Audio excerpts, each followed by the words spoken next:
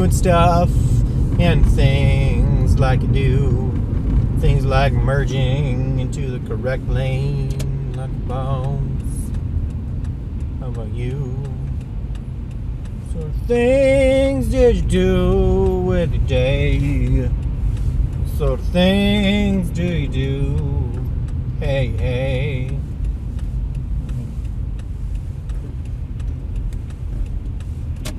Not being particularly musically educated, rhyming and coming up with tunes on the fly is surprisingly difficult for me. I wonder if other people have this issue. And I wonder if any of that was even audible because I wasn't really enunciating. Enunciating.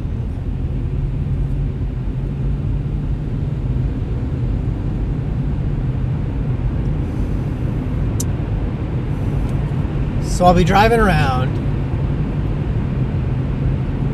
doing stuff, and I'll think, you know what I should talk about? Blah, blah, blah, blah, blah, blah, blah. And then, lo and behold, the time will come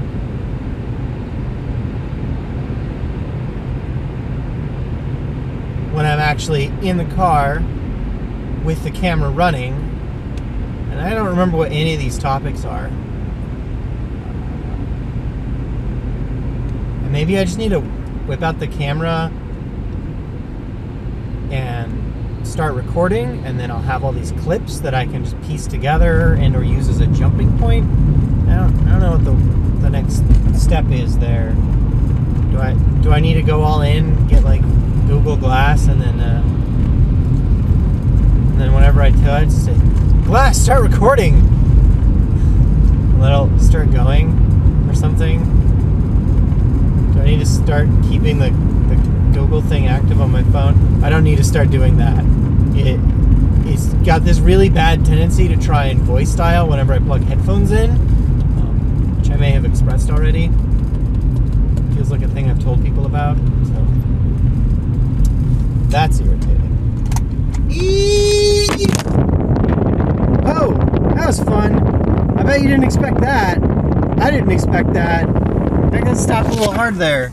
Let's uh, let's see what we can do about this insane chaos. I, I bet that's uh, fun to look at.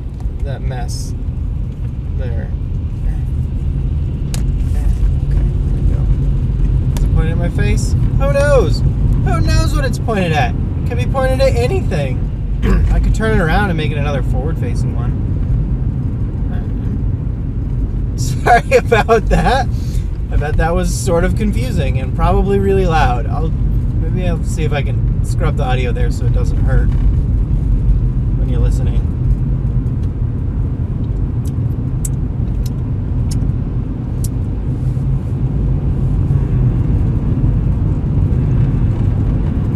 I have ordered a new mount for my phone, which will either put it on the dashboard or on the windshield great when I'm having it film me or something.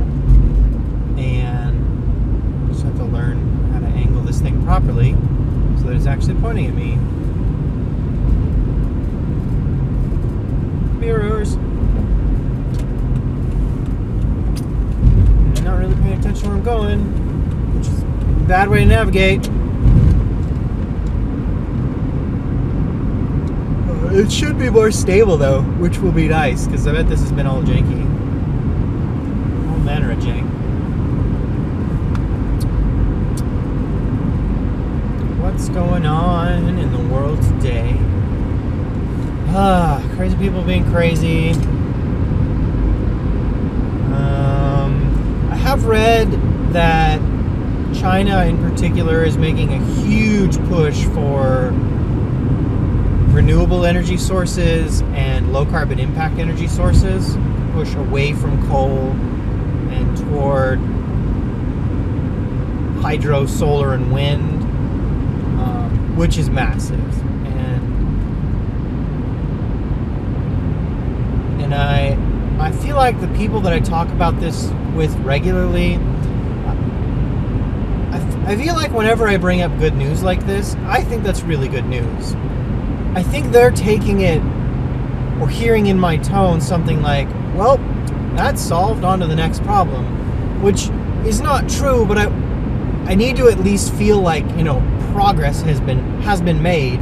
Otherwise, why bother? Because I feel like every time I bring this up, it instantly turns into, well, the whole world is screwed, we're all gonna die, and we've ruined everything. And okay, so do I shoot myself? Like, are we just done now? Do we just give up? I'm, I'm not going to call it a failure just because we're not all the way there yet. I'm glad that some change has been made. I, I hope we keep making more change. I don't know that we can reverse the, the damage that we've done so far, and we're probably going to look at a completely unrecognizable world in a hundred years or so. But I mean, it. At least we're doing something. Too little, too late is still better than nothing at all. I'm not gonna ride that roller coaster down to oblivion. Ah. Whoa. A lot of people on the road. Why? Why are we going so slow? Why is it so slow? It's it's not that early. Is there a traffic thing? There was a traffic thing.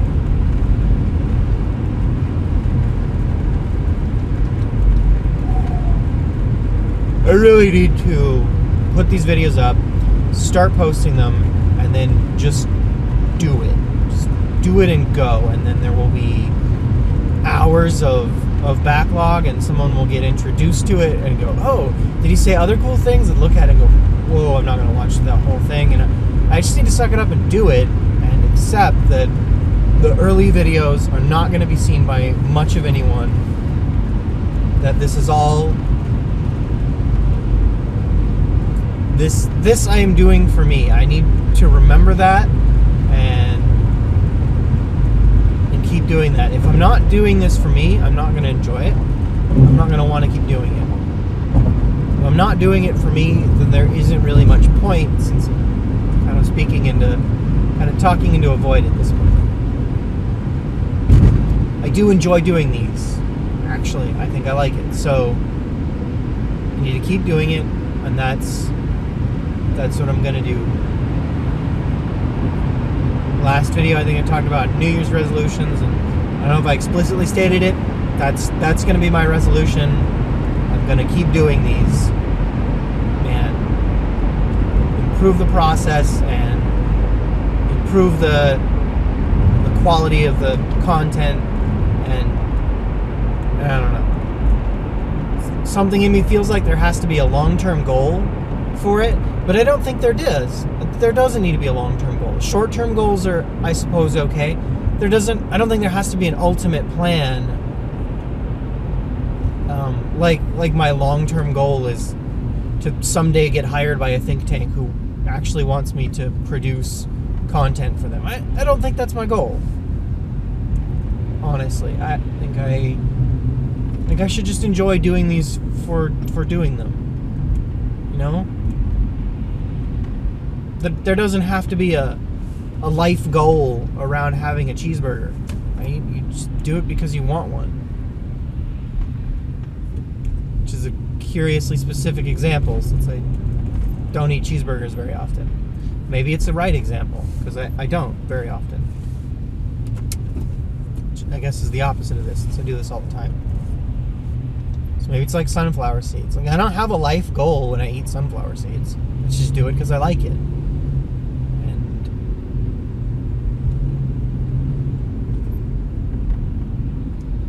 And this this drive time, it's not like I'm doing anything else during this drive time. I'm listening to music on the radio, it's usually the same music. So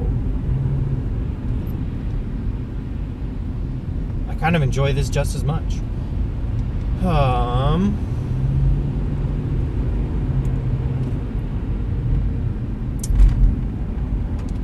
um yeah. I bet I can put together some little fun extra bits, things walking around type videos. I I don't know. Uh, I just got a visualization of myself with like a selfie stick walking around, talking at this selfie stick, and that that's terrible. That's a terrible thing. I don't want that to be my life.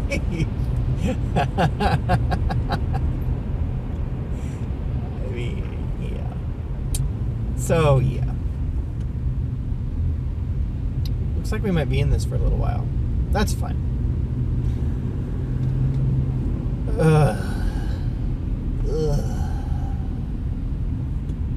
I'm all shook up. So, ugh, crazy stuff.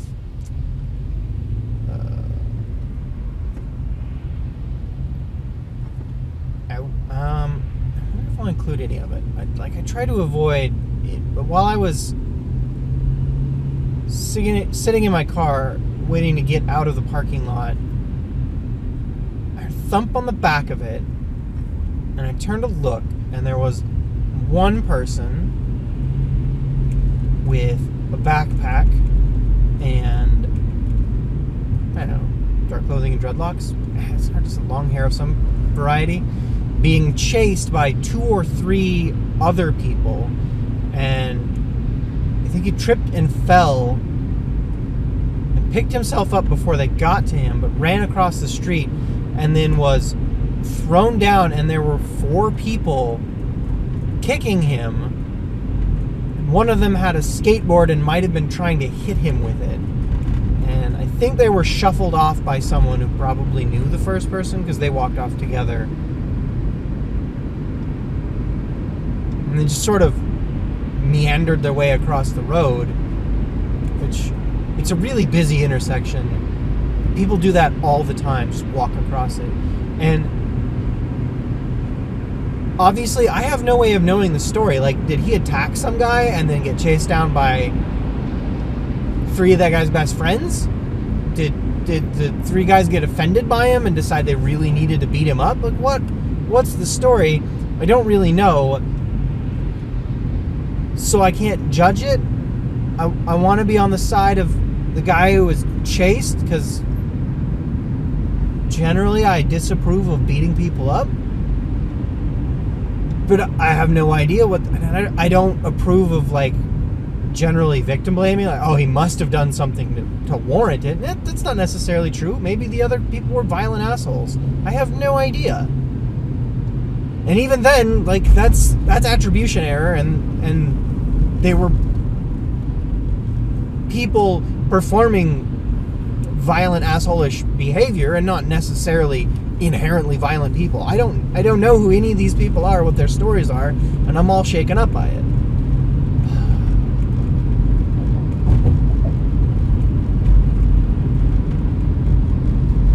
I don't know. That was weird.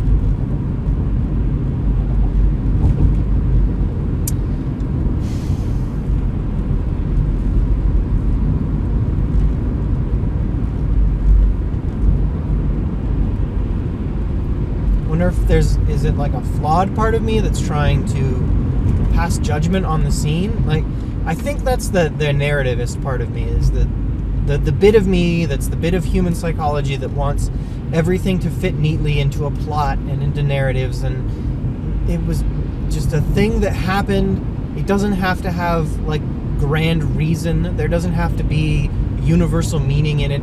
It just happened and it sucked Probably. I mean, it must have done, right? Everyone's being all violent and angry. It must have sucked for someone. Someone. And I, I'm gonna wait. I'm gonna wait. I'm at the point where I shift over and then get into my exit lane. And I'm gonna I'm gonna skip it. It's super busy out here tonight. So instead of getting into that lane right now, um, I'm gonna wait until I get past the fairly significant snarl of all the people trying to get on and off this exit here. And then we'll get, yeah, like here. You can't see any of this, so none of that really would mean anything to the to the viewers at home. Yeah, maybe there wasn't a broad meaning in it. There weren't like there wasn't someone on the right side of it or someone on the wrong side of it. stuff that happened and it sucked. Because I think there's a part of me that tries to fit everything into this grand narrative structure, and it, it's probably fairly common amongst humans to try and do this. And it doesn't have to. I stories don't have to have that, right? Or I mean, the real world, I guess. The real world doesn't have to have that. Okay, you know what? If you really need to get past me to get over, you can do that. I'm gonna get over here, and then I'm gonna get over here. I'm gonna go up that way. All right. All right.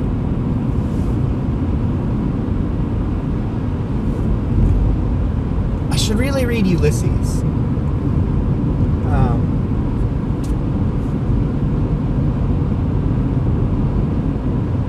because that might be something that suits the the sense I'm trying to get at. I think that's what I liked about the Grapes of Wrath so much. I, I actually liked that book. I hated the tortoise chapters. I thought they were really dumb, and it was the way it was presented and possibly the way it was written was aggressively heavy-handed symbolism and it's it's just really annoying to see that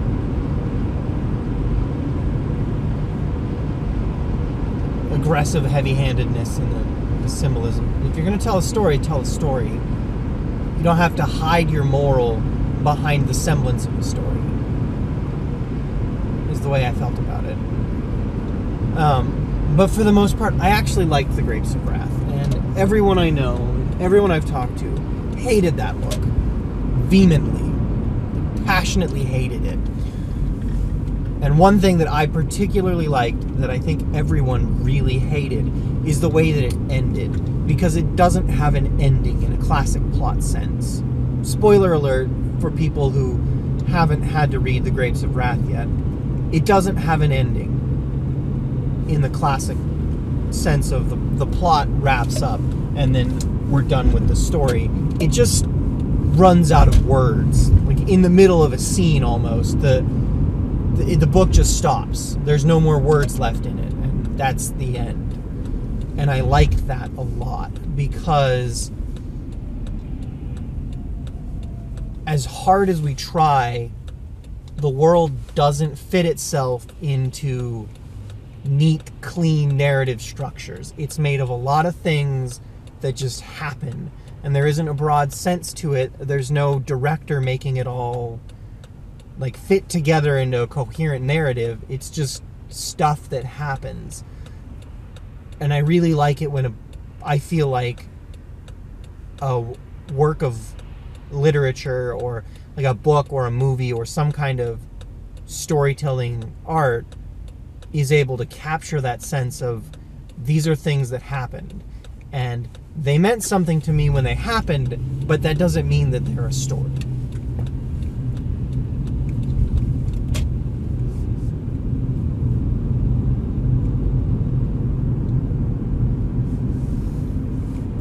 now it's time for your weekly Matthias goes off on bizarre rants of pseudopsychology and arm, armchair analysis and tries to link everything together in a grand unified theory of the human mind, which is, of course, nonsense. So, we're going completely off the rails, guys. Are you ready? Gals, people, folk. People, folk. I like that. Going completely off the rails, people, folk. Okay. Okay. Ugh. Ugh. Grand theory, human consciousness. Where where where on earth was I? The narrative thing, the trying to force everything to fit a narrative story. And oh, oh, oh, question. Is my desire for stories that aren't stories, for anti stories, counter stories, contra stories, non stories? Is my desire for non stories related to the the general drive for realistic graphics in video? We want to feel like we're really there, right? We want to be in the game, like it's really happening around us. So the graphics get sharper and cleaner and more real looking, and physics engines get stronger and broader and more inclusive. And then there's a the trend toward VR and is all of that this drive for realism and entertainment related to or to bring it backwards is my love for non-stories related to my the the human drive for realism and entertainment. Is that tendency manifesting itself in me based on my belief that the universe doesn't have a coherent narrative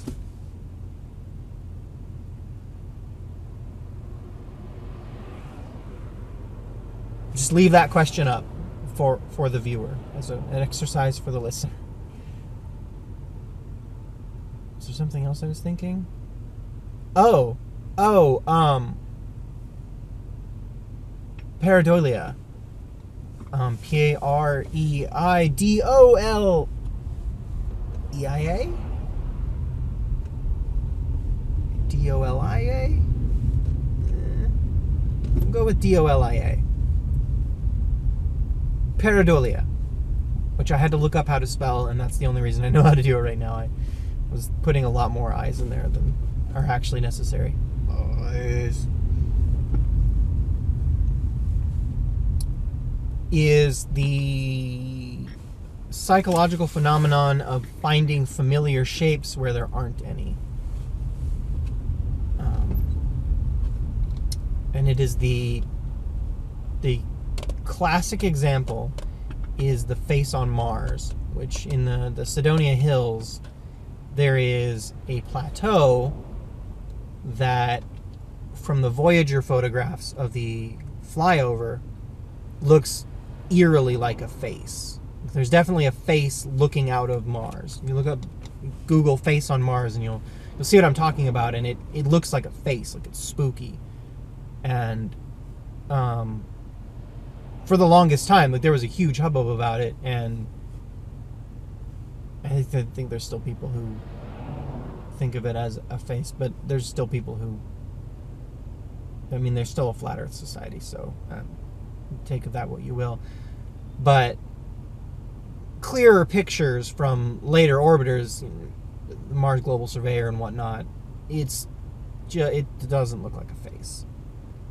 It was weird lighting it was artifacts in the camera. It was really bad resolution. It's pretty clearly just a lumpy hill that's sort of lumpy in the middle and sort of divoted toward the top. And when the light hits it and the focus is low, it does kind of look like a face. Or the man in the moon, which I only see sometime. I, I looked out like I was gonna find the moon and look at it, but I'm not gonna find the moon. It's wax it's waning crescent right now. There's no moon and there will be new moon in less than a week, so to point me looking for the man in the moon right now. The moon's not even above the horizon where I'm at. I don't think. If it is, it's just barely. The man in the moon is another example because there's no actual face of a person there at all. It does kind of look like it though and if you can't see the details very well, your brain just fills in familiar patterns and you, you see a face. I wonder if that's related. Maybe, and probably not in a meaningful way. The the way we tend to look for and find stories where there realistically aren't any. It's it might be related to pareidolia, but I don't think it is or at least not in a meaningful way. It's obviously related. They're both things that the human mind does where it fills in information that it doesn't have any. But but I don't think that's super insightful or useful.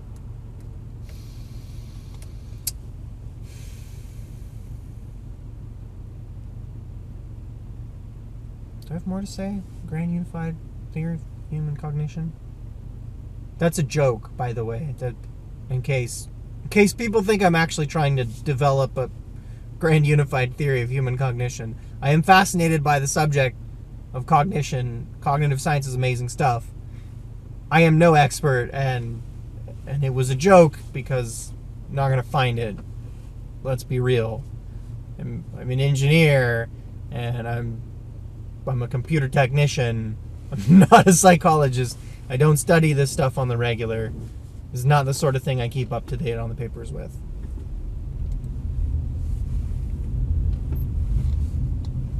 Um, you know what? I think I'm gonna try. Yeah. So I'm gonna end off here and pick up in a moment with a moment for you. It's gonna be less than that for, or more than that for me. But I, I will see about picking up with my opinions regarding armchair psychology because I have a thing to say about that. Yeah. Un momento, por favor.